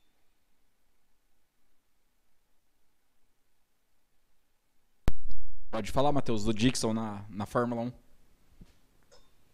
Cara, eu acho que o Dixon. É, como eu posso dizer? É o cara perfeito para a categoria Indy, na minha, na minha percepção. Ele é um cara que tem tudo para ser o melhor piloto na Indy. Ele é um cara uh, que sabe poupar muito pneu, sabe poupar combustível, que é a maior coisa da categoria hoje. 95% das corridas de Fórmula Indy precisa poupar combustível. Ele é o cara que sabe poupar combustível melhor do que todos. Ele é o cara que sabe ser mais rápido poupando combustível. E ele é um cara que, cara, o dia ruim dele é terminar em quarto, quinto numa corrida. Então uh, é realmente muito difícil competir contra o Dixon na Fórmula Indy. Eu acho que, como o André falou, dessa, dessas últimas uh, duas décadas, aí, de 2000 até 2020, ele realmente se sobressaiu acima de qualquer outro piloto. Na minha percepção, talvez há 15 anos atrás, se ele fosse andar de Fórmula 1, talvez conseguiria assim andar de igual para igual com todos esses caras top que, que andam na Fórmula 1, mas nos dias de hoje não mais. O nível da Fórmula 1 está realmente uh, muito forte, precisa de muita, muita, muita velocidade para conseguir guiar esses carros de Fórmula 1. E como o André falou, o Dixon não é o cara mais rápido, mas ele é o cara perfeito para as corridas de Fórmula 1. Ô André, então tem pergunta para você, já que você quer. Tem um pessoal ali, Marcos Gontijo, Rei de Copas, Valdinei Lima, o Rodrigo Nobre, que mora aí perto, né? é Kissimmee? Kissimmee, não sei como que se pronuncia, né? Kissimmee, Orlando. Isso, o Rodrigo tá, vai para São Pete lá, dar uma ajuda pro blog também. O Rodrigo que é parceiraço, a gente já fez até uma parceria pro Picoque agora, né? Para poder ver os treinos aí de quinta e sexta. E você soltou no Twitter, se eu não me engano, que você vai narrar alguma coisa aí. Tem um pessoal que quer saber. E tem um pessoal ali que tá agradecendo muito você. Vai narrar futebol. E, e falando que você é monstro. Mas, ô, Matheus, já que você tocou no assunto futebol, depois você conta aí como que você ficou naquele jogo do Inter com o Corinthians na final do Brasileiro. Que o, Sim, o meu vamos, São vamos Paulo. Falar, vamos falar de corrida. o meu corrida. São Paulo ajudou o Inter, mas o Inter não se ajudou, ah, cara. Não entra nesse assunto, não entra nesse assunto. Então vamos, vamos falar de corrida, vamos falar de corrida, gente, sem polêmica aqui hoje. E, e o seguinte também, né? O, o, foco da live é o Matheus. Eu tô aqui só para ajudar, entendeu? Para intermediar, enfim, para trazer aí, mais notícia. Que é, que que é Mas respondendo narrar? a sua pergunta sem enrolar muito. Esse sim é uma raposa, é... né? Querendo sair fora. É, tô saindo de lado a pergunta. Eu, eu, eu, eu não posso anunciar a categoria ainda. São duas, na verdade. Uma categoria brasileira e uma categoria europeia, porque eu estou muito feliz. O contrato foi assinado ontem, mas logicamente que a categoria vai anunciar é, a transmissão, a equipe de transmissão, enfim, toda a parte do, do calendário. Oi? Não, o Globo não a dá, Globo, Globo estou muito longe, estou muito longe é, uma categoria europeia, vai ser, vão ser duas, é, vamos falar assim, inovações. Não é que todo mundo está acostumado, assim como o Dazon veio aí há dois anos inovando em transmissões por streaming de uma maneira mais Netflix dos esportes, né? E, streamings de várias categorias. Eu tive a oportunidade de estrear lá como comentarista da Fórmula 2. Me lembro de ter, de ter narrado depois, estreando como narrador, é, é, narrei a vitória do Sérgio Sete Câmara na Fórmula 2, é, narrei várias corridas ano passado na Indy. E, e aí estou tendo a oportunidade agora de narrar uma categoria brasileira, não posso falar ainda, e uma categoria europeia que vai ser muito legal, com dois comentaristas fantásticos que entendem muito dessa categoria, mas vai ser anunciado aí, eu acho que até sexta-feira vai ser anunciado, eu só quis soltar ali, e olha, vou te falar, hein, o pessoal tá ruim de palpite, viu? Ninguém acertou. Mas dá uma dica aí, é streaming, é cabo, como que é aqui para nós no Brasil? Copa Clio vai ser streaming. Mundo, vai ser streaming. Ah, Copa Clio eu adorei, adorava, cara. Adorava, adorava. Já que vocês falaram aí, vamos voltar então um pouquinho para Indy. É, eu já fiz uma live aqui, Matheus, com o André, e eu aposto todas as minhas fichas, apostaria qualquer coisa que eu tenho no Joseph Newgarden esse ano. Se o Dixon é essa lenda aí que o, que o André falou, e eu concordo, o cara que tem 50 vitórias, é, seis títulos, e tá com 40 anos, né? E o Dixon, você vê que o cara é magro, o cara tá em forma, vai até os 45, 46, igual o Tony Wellio fácil. O Dixon é de 80. Agora o Joseph Newgarden também tá com 31 anos. Eu acho que ele conquista o Tri esse ano. Acho que a Penske, ano passado, era favorita. Se vo vocês que fizeram todas as corridas no, no Indy GP, a primeira das três corridas que nós tivemos no misto, o Neil Garden estava liderando a corrida. O Oliver Eskew bateu na, na curva 1 do oval, né, que era a última do misto, deu amarela. O Dixon estava em 14, deu certinho para ele para os pits, voltou em quarto ou quinto. O New Garden caiu para 13º. Na etapa seguinte em Road America, na primeira corrida, New Garden foi pole. Teve aquele problema nos pits. Daí, de primeira, ele caiu para décimo. A última corrida que teria pontuação dobrada por conta da pandemia acabou não tendo. Então, só ali o New Garden ganha, já tinha mais 15 pontos. O New Garden perdeu ali 60, 70 pontos fácil. Em azares, estratégia da Ganassi, coisas de corrida. Mas eu coloco o Garden como franco favorito aí para ganhar a, a, o campeonato mais uma vez, acho que umas duas corridas de antecedência. Eu e o André tava conversando esses dias. Esse ano, felizmente, não tem também de novo a, roda, a, a, pontuação dobrada, né, André? A gente viu o regulamento ali, é só na Indy 500, mesmo tendo 17 corridas. E eu acho que o New Garden realmente vai levar esse título, mas o Colton Herta e o Patrício Ward, eu, eu acredito que mais o Rossi vão ser os quatro que vão disputar o campeonato esse ano. Eu já coloco aqui o Dixon não disputa o campeonato esse ano. Eu acho que o Dixon vai em busca da segunda Indy 500 dele e a Ganassi por conta do Jimmy Johnson também querer dividir um pouco a atenção ali. Não sei se vai ter foco total para um sétimo título. Não sei o que, que você falem aí do New Garden. Fala, Matheus. Eles já sabem a minha opinião, então, né? Cara, é, eu já sei, o André. O André é clubista. Só gosta do Dixon, não gosta de mais ninguém. Mas enfim. Mas, uh, cara, eu acho que, que esse teu ponto é um ponto super bom. Jackson eu gosto, realmente acho o New Garden o piloto mais completo da categoria disparado. Tirando o Dixon, obviamente. Uh, mas eu acho que o, o New Garden pode ser o futuro Dixon, entendeu? Eu acho que o Dixon, não acho que o Dixon vai correr por muitos mais anos. Se ele não ganhar esse campeonato esse ano, se ele não ganhar o campeonato ano que vem, eu acho que não sei se ele corre mais de três anos na categoria.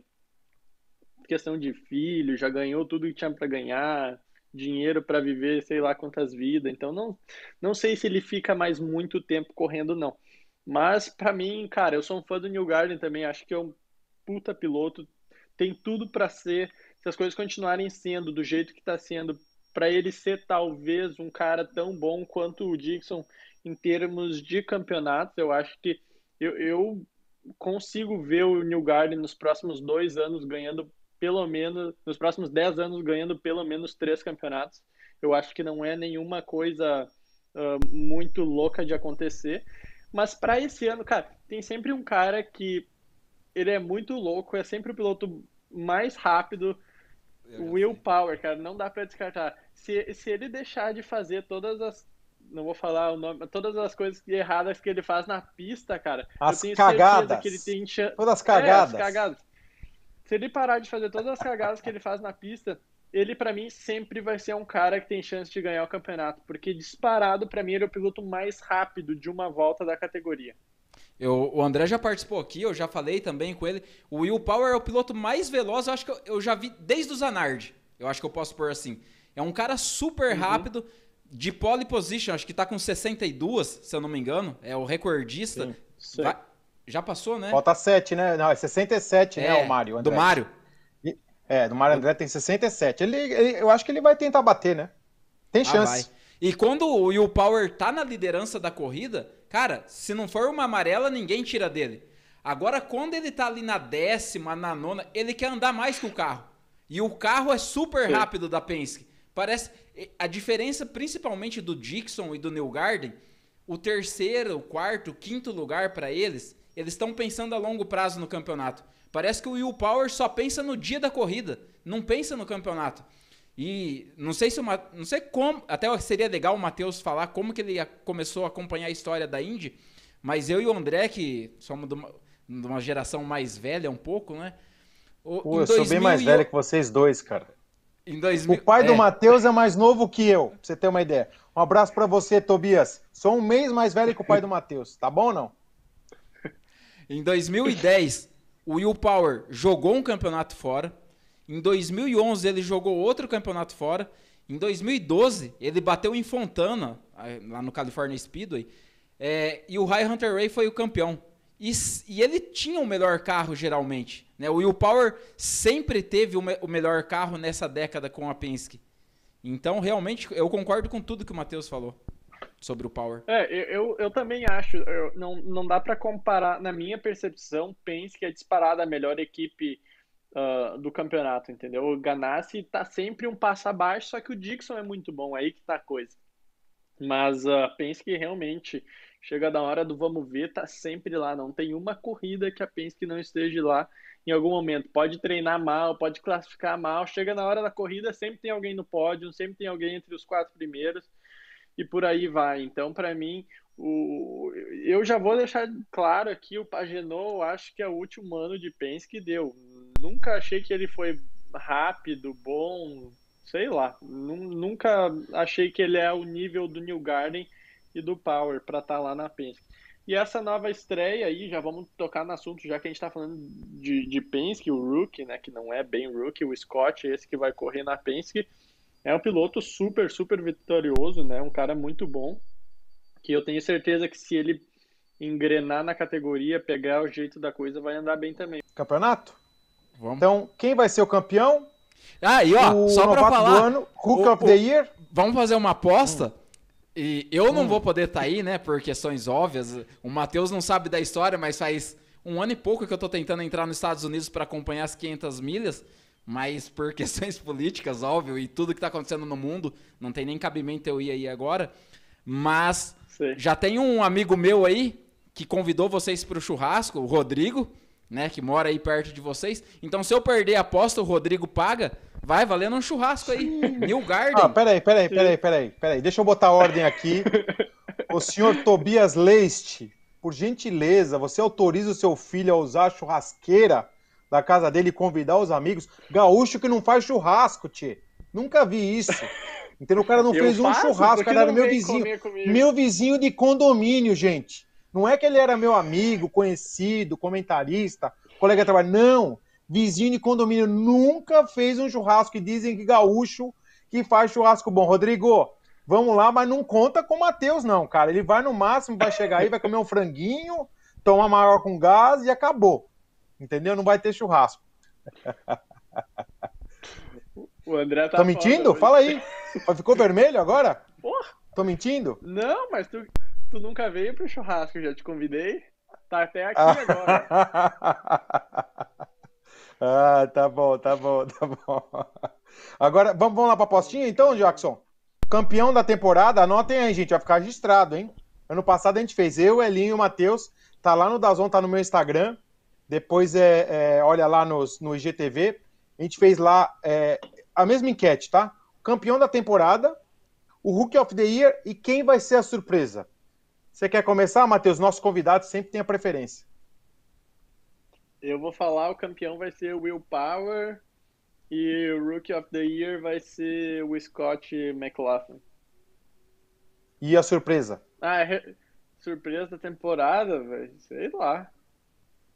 Ah, deixa eu pensar.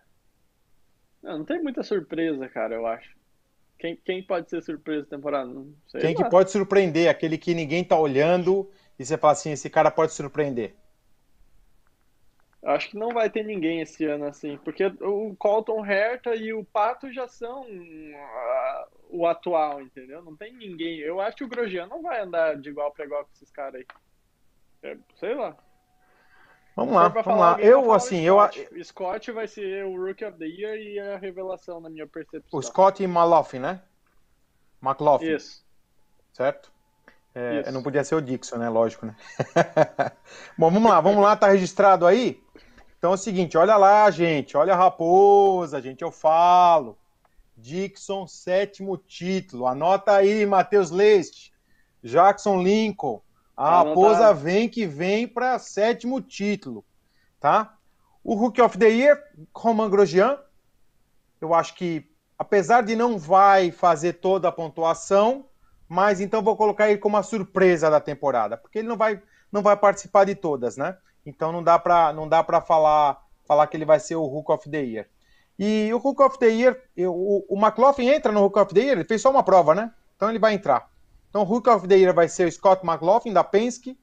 A grande surpresa vai ser o Grosjean, vai fazer um pódio. E a Raposa, gente. Tá louco. Matheus fica bravo, o Elinho fica bravo, mas a Raposa vai conquistar o sétimo título. Anotem aí. E vai passar o Mário Andretti em número de vitórias, hein? Tá chegando, hein? Vai. E vai andar de Fórmula 1 ano que vem. Na Fórmula 1 ele vai andar só no simulador, mas vai ganhar um teste. Quer apostar? Vamos lá, Jackson, sua vez. Sai de cima do muro, Jackson. O cara falou Will Power campeão, Jackson. Por isso que ele é piloto. Comentarista, cara, tá louco. É, Nem joga na Mas eu não aqui, fiquei viu? no muro nem um momento. Então vamos lá, sai Vamos de cima lá, do muro. Para Pode de falar anotar do o New meu Garden. aí. Vamos lá, New Garden, vai. Joseph Newgarden, cinco vitórias, pode pôr aí. Ele fez quatro ano passado. Scott McLaughlin vai ser o Rookie of the Year, não porque ele é melhor que o Grosjean ou ou qual que é o- agora me fugiu. O meu Deus do céu. Jimmy Johnson. Jimmy Johnson. É, porque ele vai fazer quatro corridas a mais. E em Indianápolis a pontuação Na é dobrada. Em Indianápolis é pontuação dobrada. Então são cinco corridas. Ele já vai sair com o último. Vamos supor que o grid está com 24 carros. O 24 faz 7 pontos. 6 pontos. 6 pontos. Pedi até para minha assistente aqui, a minha esposa, ó.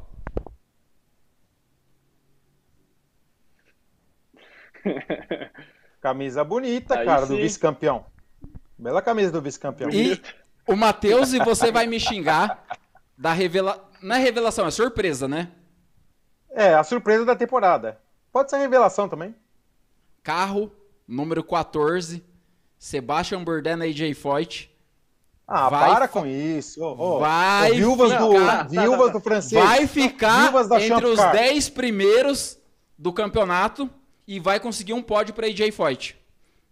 Peraí, gente, comenta aqui, que- gente, por favor. Comente aí o, o- a viúva do Burdel. O Burdel já foi. Entendeu? Comenta aqui. O Matheus não, não, vai não. nem falar. De- Matheus, deixa- não- nem comenta porque ele Ô, não Matheus, merece, hein? Não merece. Dá uma Penske aí pro Bourdais, ver o que, que ele faz. com isso.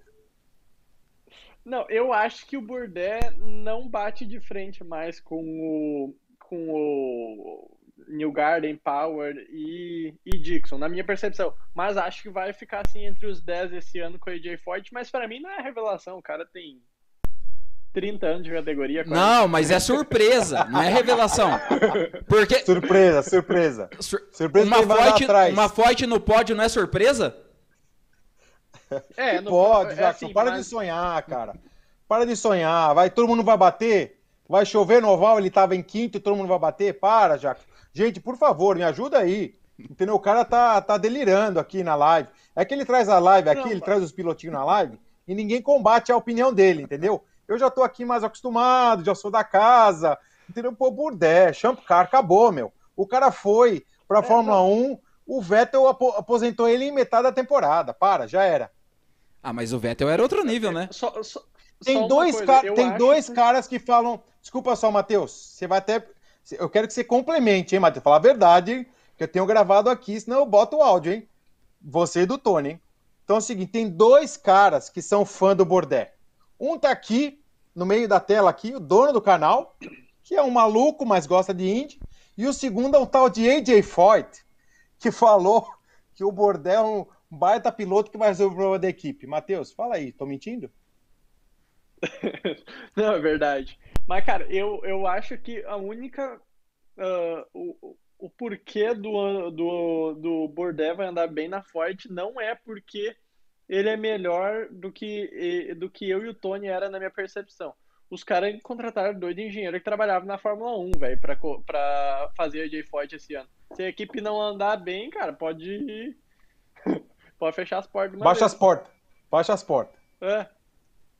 Ô, Matheus, então já aproveita e fala isso. Eu vi, eu acho que saiu na Racer.com aí dos Estados Unidos. É James Taylor, alguma coisa assim? O engenheiro? É, na verdade, ele é um cara, é um engenheiro super bom. São dois engenheiros novos já, eh, fora que tem dois assistentes novos também. Pelo que eu fiquei sabendo, tá? Tipo, isso é das coisas que eu li também. Não, não falo mais muito com o pessoal. O Tony me disse também.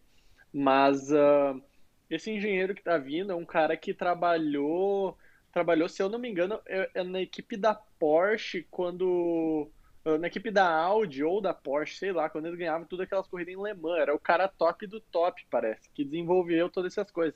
E pelo, Um que, pelo desse, que eu cara, li, é um- ele trabalhou na Carpenter também, naqueles anos que a Carpenter foi pole com o Ed Carpenter, se eu não me engano, em 17 ou 18. E no INSA também ele tava. É, é, ele foi pro IMSA também. Então, cara, é um cara nível engenheiro Penske top, entendeu? Não tem como, como o cara não fazer alguma melhoria na, na equipe. Obviamente que daí tem os outros fatores, né? Pit stop, ferramenta dentro do carro, essas coisas assim. Mas eu acho que o cara. Mas em si, eu acho que o carro vai estar muito mais rápido e o Bourdais, sendo o piloto que é, eu também acho que ele é um cara super bom. Eu acho sim que ele vai ficar entre os 10 no campeonato.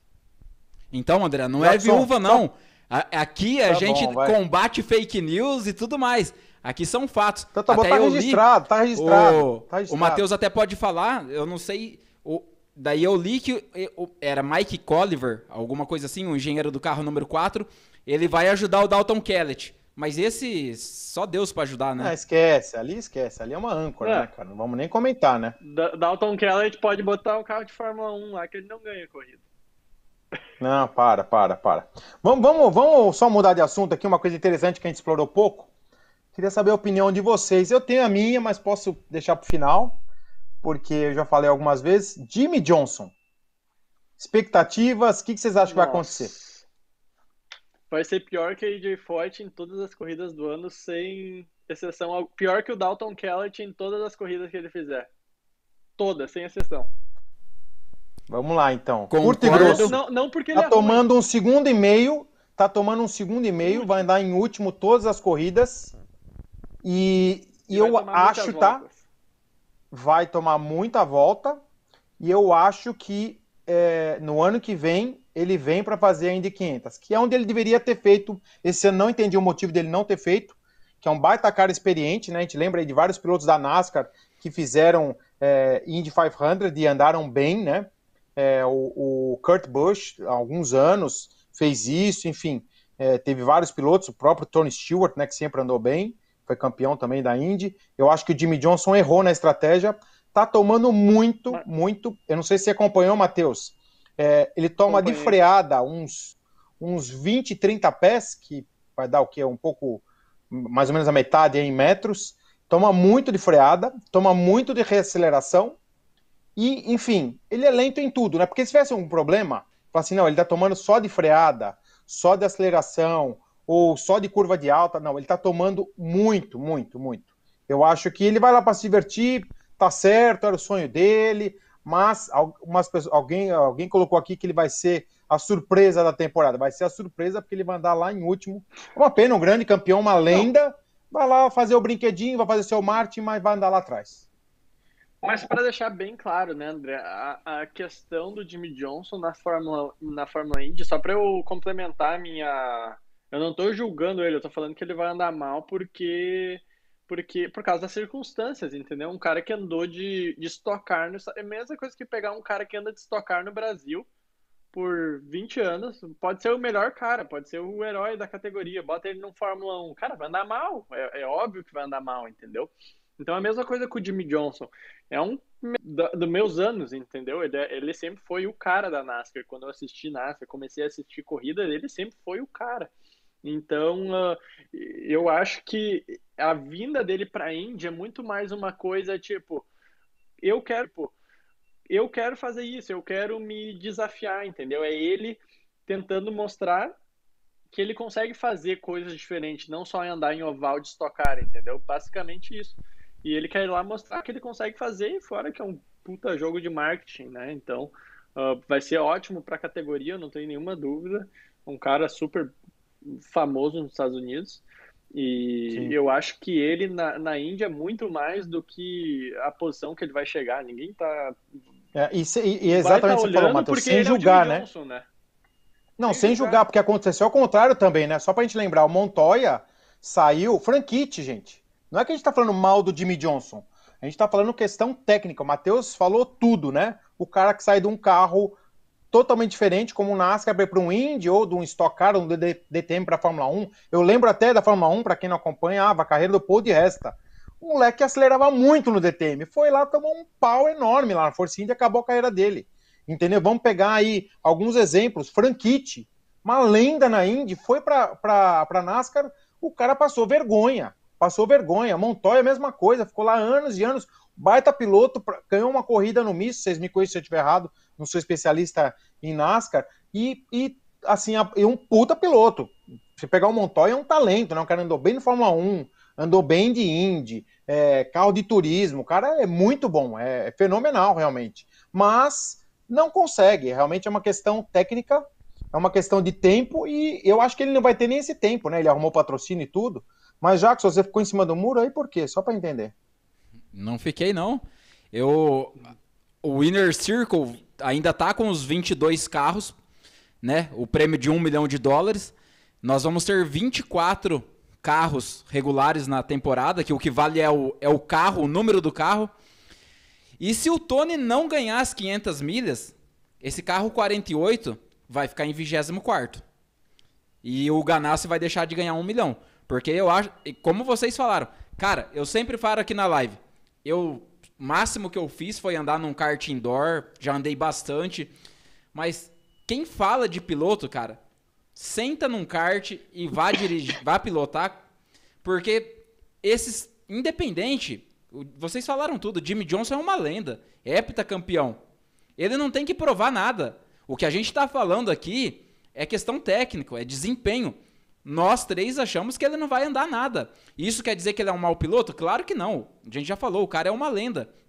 Mesma coisa, o André vai falar que, o, que eu sou viúva do Burdett de novo.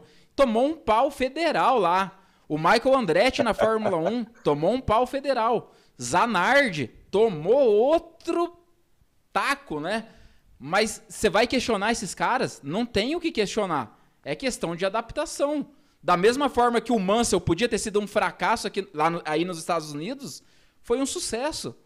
Então, depende muito de estar tá no local certo. Na, é que o do Jimmy Johnson, eu vejo realmente que é a, a idade também, né? E o condicionamento físico, Sim. tudo isso. Ô, Matheus, me, me diga uma coisa, já que o, o André falou essa questão do Jimmy Johnson participar da Indy 500, eu acredito aqui que todo mundo, inclusive que está vendo a live, vocês dois, assistiram já a temporada da, da Netflix, né, do Fórmula 1. É, até no, a Netflix ajudou assim banalizar um pouco a carreira do Roman Grosjean, né? Por conta dos acidentes dele, principalmente em 18. E a gente viu ali no fim da temporada agora, que foi um episódio praticamente dedicado ao acidente dele no Bahrein, ele falando que teria outras prioridades na vida dele, se referindo à filha, à, mulher, à família, né, como um todo. Mas passou alguns dias ali, daí o cara divulga que vai correr na Indy. Então, assim, bem contraditório com o final do Netflix. E tá certo, por pressão familiar, ele não vai fazer os quatro ovais. A gente sabe que talvez o Texas Motor Speedway é mais perigoso do que Indianápolis.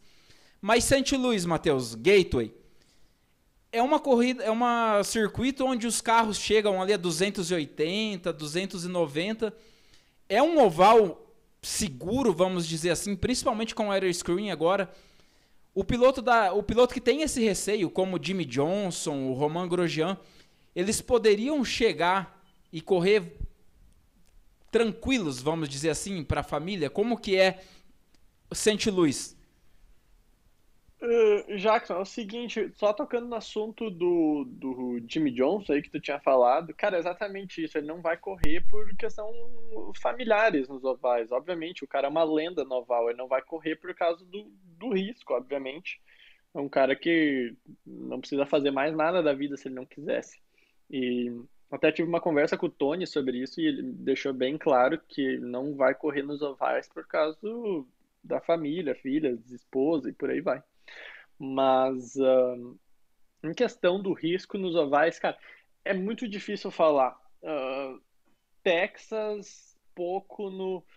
Indianápolis são perigosos, sim. Uh, os ovais curtos, cara, eu sempre me senti muito confortável. Eu adoro oval curto, eu acho que é a melhor parte da categoria. Iowa, Gateway, uh, por aí vai, para mim sempre foi as corridas são animais, ultrapassagem o tempo inteiro, principalmente Iowa, né? Pena que saiu, mas um, Gateway é uma prova, cara, é rápida, mas não dá aquela impressão de que, nossa, é muito rápido, sabe? Nossa, é perigoso, não dá essa impressão uh, em Gateway. Então, eu acho que é uma pista legal.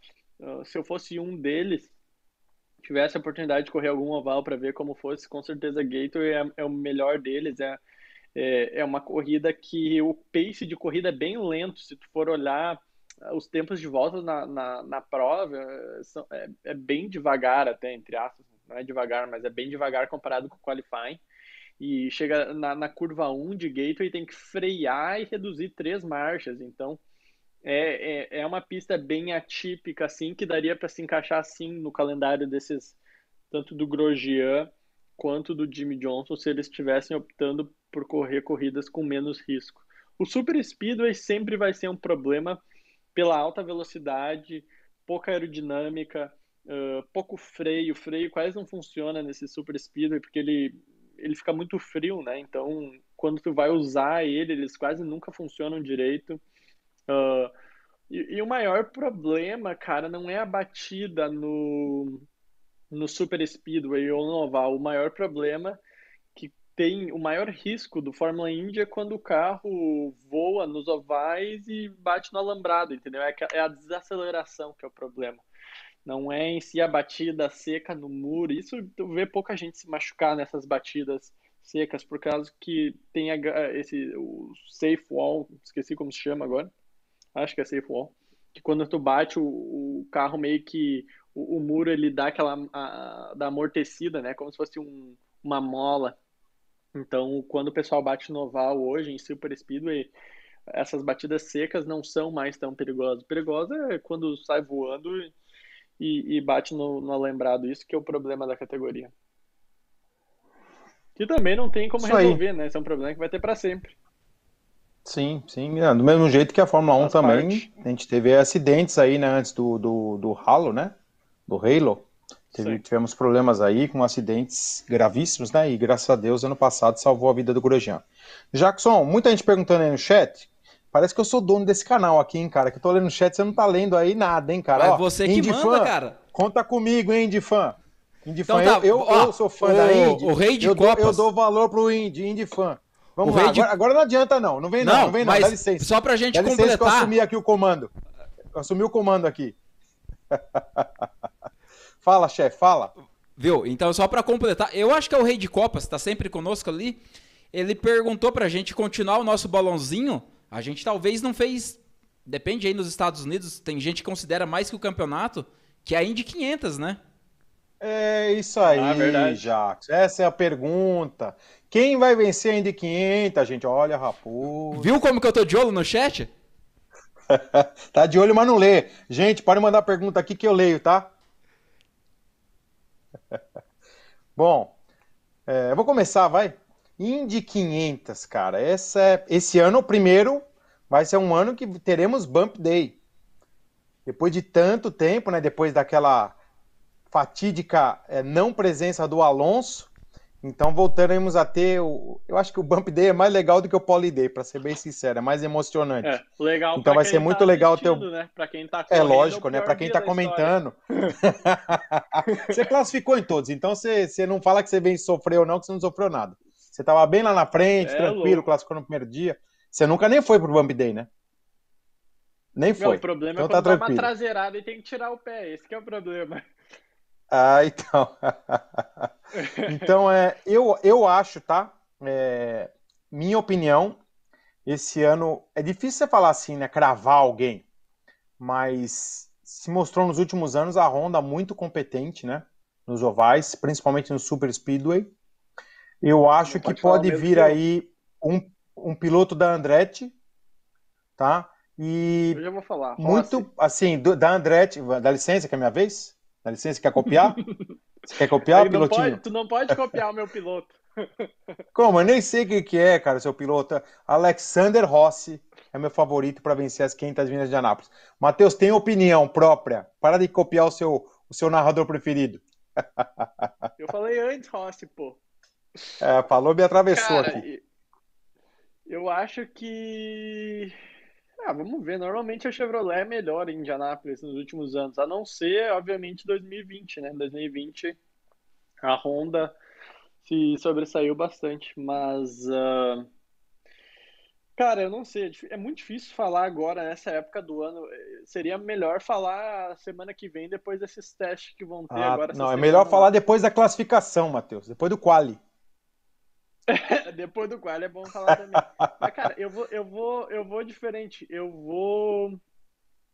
Vamos de brasileiro, então. Vamos de Tony esse ano na Ganassi. Ô, oh, puxa-saco, olha lá. Vocês falam que eu sou puxa-saco do Dixon, olha lá, ó. Olha o puxa-saco do Narigudo, entendeu? O Narigudo que colocou o apelido dele de Birubiru, entendeu? Levava o Matheus para passear quando o Matheus chegou nos Estados Unidos, não conhecia ninguém, Tony levava ele para cá, para lá, e ó, ficou puxar saco do Tony, ó. Mas eu acho que o Tony vai ter uma, uma grande chance, sim. Brincadeiras à parte, Ganassi, né? A nave. O Tony, com tanta experiência, tá na um auge da forma física. Eu acho que é um nome muito forte, sim. Então, eu tô indo de Rossi. andou super bem ano passado, né? Sim, sim, sim. Sempre perdeu ali no final, né? A luta de, de Sato e Dixon, né? Então é um bom palpite. Bom palpite. Essa Manda real... lá, chefe. Essa realmente, cara, é chute. Você vai falar que eu tô puxando o saco dele, mas Você assim, não é, é especialista, chute. cara. Que chute. Especialista. Não, Você falar Bordé, é acaba foda. a live, hein? Você falar Bordé, eu. Matheus, combinado não. ou não? Se o cara falar que o Bordé vai ganhar, nós... a gente aperta o botão aqui e deixa ele sozinho. ele vai falar New Garden. New Garden. Só que aí tem. Se a Honda dar aquele pau que deu na, na Chevrolet ano passado, aí não tem como, né? Foi uma surpresa para todo mundo, eu acredito, né? Mas eu acho que o New Garden leva sim. O New Garden vai fazer de tudo para para levar para levar essa 500 milhas. Ele já tá indo para décima temporada dele e não tem a Indy 500. Ele nunca andou bem lá, é. né? Ele nunca andou bem lá. Então vai, é. essa Eu acho que falta para ele, falta para ele merece, né? A gente falou um pouquinho do Pagenot, mas o Pagenot, quer queira quer não, com toda a limitação técnica dele, bom, um piloto foi campeão da categoria, campeão das 500 milhas de Anápolis, ganhou várias provas, fez pole, melhor volta, então tá com missão cumprida. O, o Power num nível superior ao Pagenot, né, muito mais rápido, e também ganhou a categoria e ganhou, ganhou o campeonato geral, né, quando eu falo categoria, e ganhou as 500 milhas. O Neil Garden, que em quatro anos de Penske, duas vezes campeão, duas vezes vice, o piloto realmente um dos mais completos hoje, eu acho que é o sucessor do Dixon. Para mim, o Neil Garden é o Max Verstappen da Fórmula 1. É um cara rápido, assim, é lógico que cada um com as suas características de arrojo e tal, mas o Verstappen é o sucessor do Hamilton e para mim o Neil Garden é o sucessor do Dixon, merece sim, eu acho que é bom, bom aí teu palpite, é, Jackson. Então, tá tudo anotado aí, hein, gente? Campeão, é, Rookie of the Year, surpresa e as 500 milhas de Anápolis. E não teve, não teve Copa aqui, não. Vamos ver quem vai acertar. Matheus, você lembra seus palpites lá no Dazon no ano passado ou não? Depois, gente, por favor, a, arroba André Dueck, fazer meu merchan. Tem lá quatro vídeos. Eu ganhei as 500 Eu, Elinho, o Matheus, a gente falou. Hã? Eu acertei o Sato nas 500 milhas. Ah, vamos lá. Assistam lá. Assistam lá, gente. Assistam lá aqui para derrubar aqui. Derrubar a máscara do Matheus aqui. Agora tá até mentindo. Não, falei mesmo. Valeu demais, gente. Tem, tem uma pergunta do Rodrigo ali. É... Assim, o piloto na Indy hoje, a gente já falou um pouquinho disso no começo, mas chega o Matheus Leite ou qualquer outro da Europa, só talento não basta, tem que ter o aporte financeiro. Mas como que é? A equipe pede X milhões? Conta um pouquinho desse bastidor aí, o André também que é especialista nesse assunto. E André, a gente vai ter que fazer 10 segundos aqui, pelo menos, tem muita gente no chat ali perguntando. E a transmissão no Brasil, André? Pô, a transmissão já soltaram hoje, não soltaram? É, com uns 20 dias de atraso? Ninguém quis cravar, né? Ninguém quis, é? quis, quis cravar. Tá lá, a gente falou aqui, entendeu? Unimos os pontos. Então é questão de, de, de horas aí, dias para anunciar, né? TV Cultura, gente. Anota aí. TV Cultura vai transmitir a Fórmula Indy.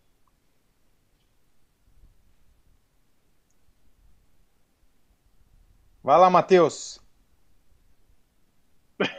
tu vai narrar, André? Eu não, não. Infelizmente não. Infeliz... Adoraria ter a experiência de narrar ou comentar, enfim, qualquer coisa. Mas eu vou estar ligado sempre na categoria, aqui no blog da Indy, também lá na, nas redes sociais. A gente nunca vai se, se desvencilhar da Indy, mas o pessoal pode acompanhar aí na cultura. Pois, Qual era a pergunta para o Matheus antes, só... ou Jackson? eu vou responder a pergunta, eu lembro, em relação às equipes, como funciona. Cara, é, é, é varia muito de piloto para piloto, uh, patrocínio. A maior, a, a, principal questão hoje é se uma equipe tem patrocínio já ou não. Uh, que foi o que aconteceu comigo no final de 2020, de 2019, vamos dizer. A ABC perdeu, uh, a AJ Ford perdeu o patrocínio da ABC e a partir dali, então, não, eu já não tinha mais para onde ir, entendeu? Porque uh, o contrato que eu tinha para correr em 2020 era completamente uh, patrocinado pela ABC, vamos dizer. E quando sai um patrocínio grande da forma que era a ABC, daí realmente uh, fica vira uma loteria, quem pagar mais leva, entendeu? Mas a, a, as negociações hoje são poucas equipes que dá para negociar. Uh, normalmente, as equipes grandes é meio que piloto contratado, com patrocínio pessoal. Muita gente hoje tem patrocínio pessoal e leva patrocínio pessoal, como Hunter Ray, Tony, próprio Jimmy Johnson. Marcos uh, Erickson. Enfim, a categoria virou É, virou um, é um business puro, entendeu? Quem tem patrocínio leva e anda, é basicamente isso. Hoje a única equipe, a única equipe que tem piloto contratado sem patrocínio é o Dixon e os quatro Penske. O resto todo mundo tem uma forma, um patrocínio pessoal, um patrocínio da equipe, uma coisa assim, entendeu? Basicamente, eu diria que só tem cinco pilotos que são 100%, vamos dizer, contratados pela categoria, que não dependem de patrocínio externo no momento algum. O Alex Palu uh, é Honda? Cara, eu não sei. Eu não sei, é difícil é, falar. É a, Honda, a Honda entrou com um pacote de desconto na equipe. E essa volta do Ed Mas Jones? Mas eu não sei se é. Eu não sei se. Não, Ed Jones pagou. Pagou, certeza. Faz parte. Infelizmente, qualquer esporte de automobilismo hoje, se for pensar, o Alonso também, quando veio correr na Indy, também tinha patrocínio. Não é que chegaram a ligar lá para falar, oh, Alonso, vem aqui, to um milhão de dólares de salário e tá tudo certo. Lógico que tinha um pool de empresas, né? O interesse, lógico, mas sempre tem. O Jimmy Johnson, né? Tá, o patrocinador é? dele pessoal. Tá lá, tá explicado.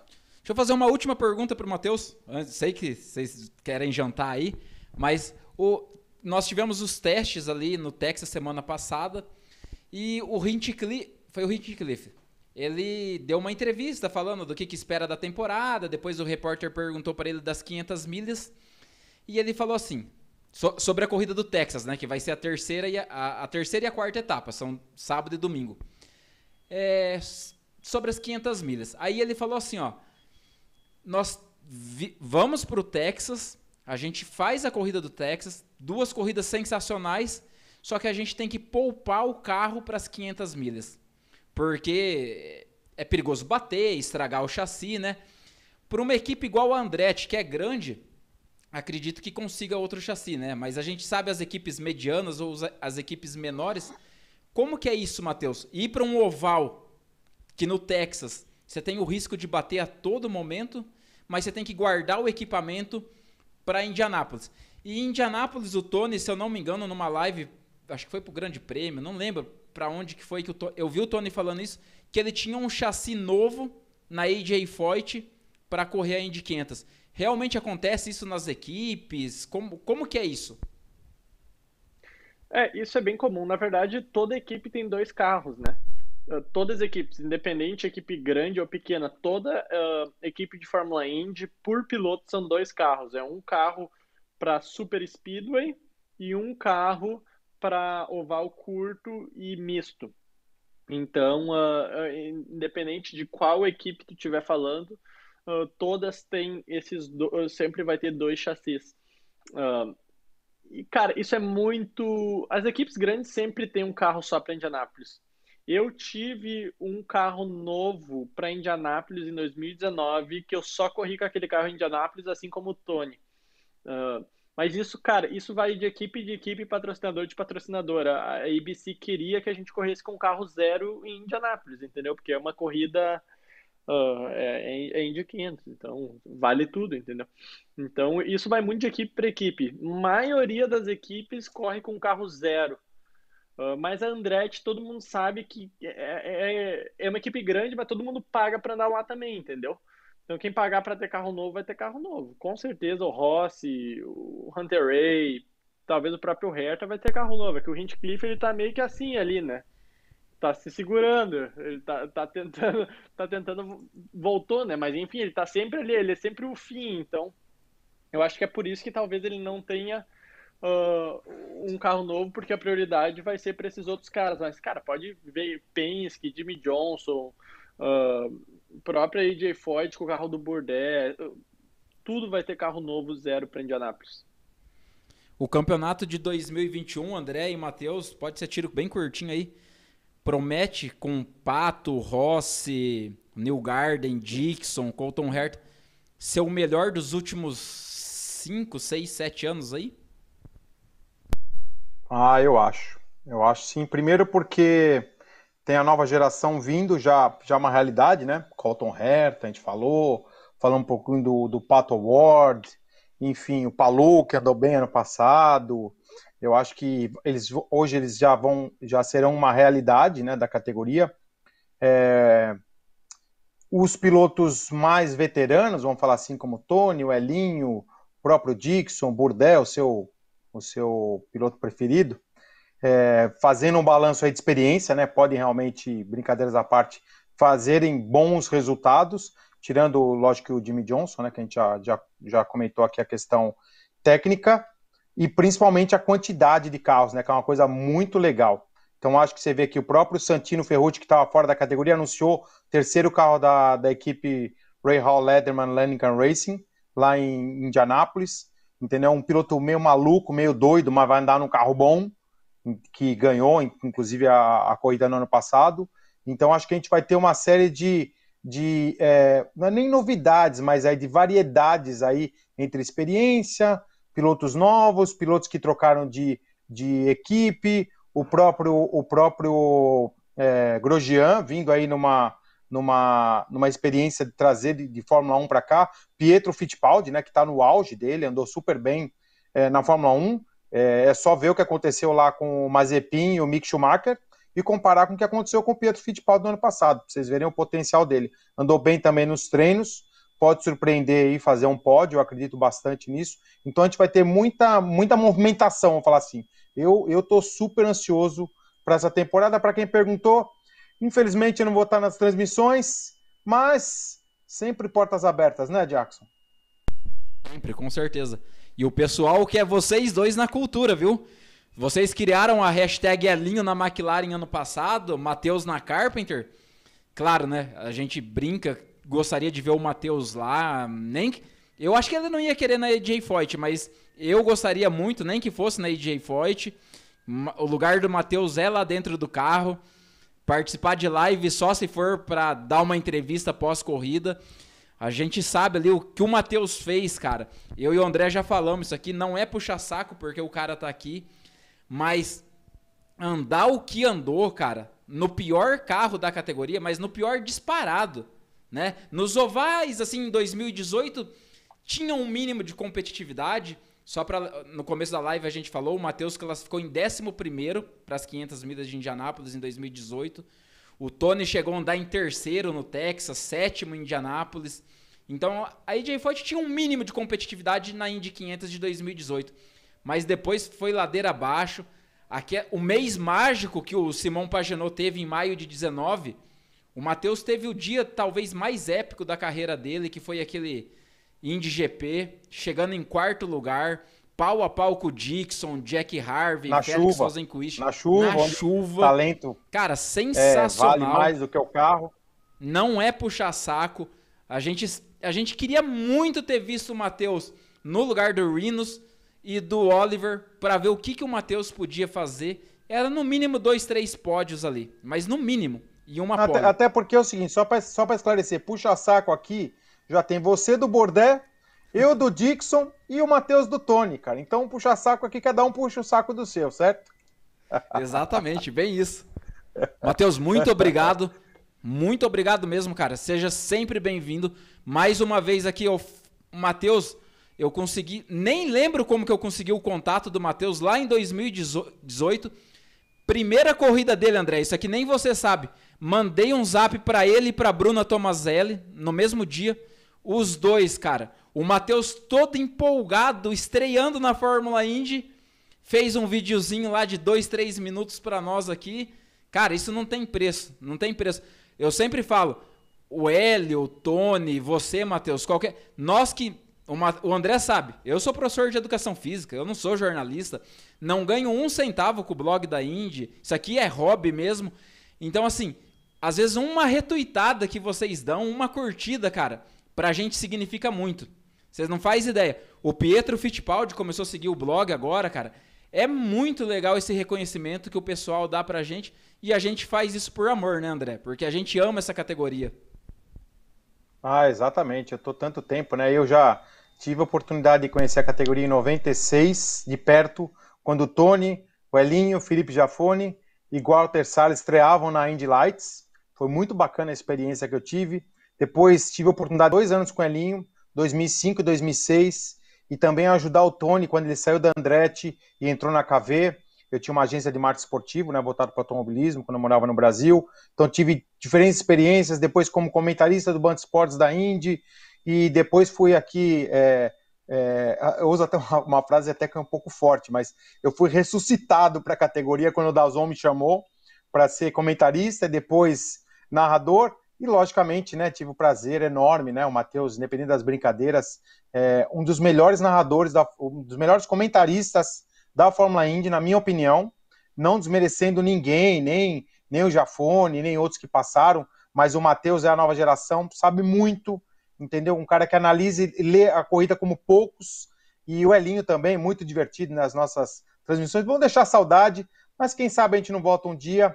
E o canal é isso mesmo, é de fã para fã. Eu sou fã da categoria, independente de eu estar lá na transmissão ou não. Vou continuar aqui com vocês, estou nos, nos grupos de WhatsApp, só para lembrar, hein, pessoal? Tem um grupinho do WhatsApp de membros do blog da Índia. Eu não ganho nada para falar isso.